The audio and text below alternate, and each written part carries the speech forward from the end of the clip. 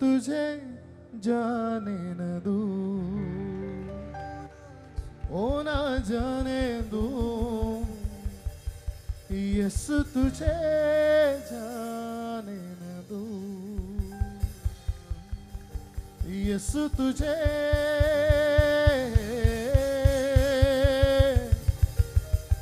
यीशु तुझे